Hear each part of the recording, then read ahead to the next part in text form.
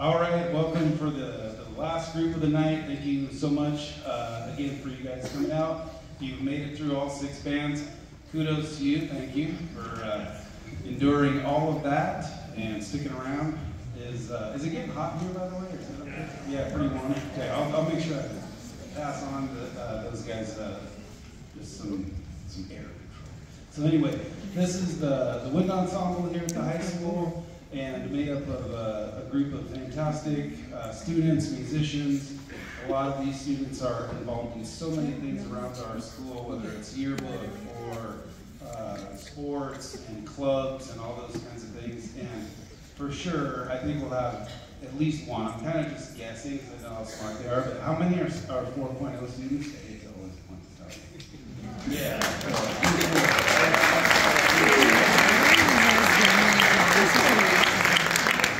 So, so really, really cool, and they're so fun to work with, and uh, yeah, just really, really great people, great humans, uh, fun to work with. But uh, again, as people, they're just really, really cool to work with.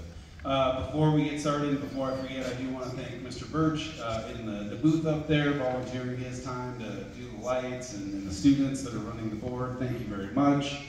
Uh, for all of you guys that are in eighth grade, stuck around, thank you so much. Hopefully, this gives you some inspiration about what you'll sound like in just a couple short years. I mean, it flies by fast.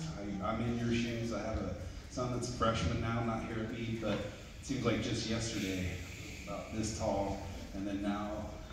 Hey, Dad, what's for breakfast? Who is this guy? But anyway, so I'm in your shoes. I know how busy you are, and I really appreciate all of the things that you do to make music a part of their lives. And so we look forward to seeing you guys and hopefully making a lot of great music with you guys as well.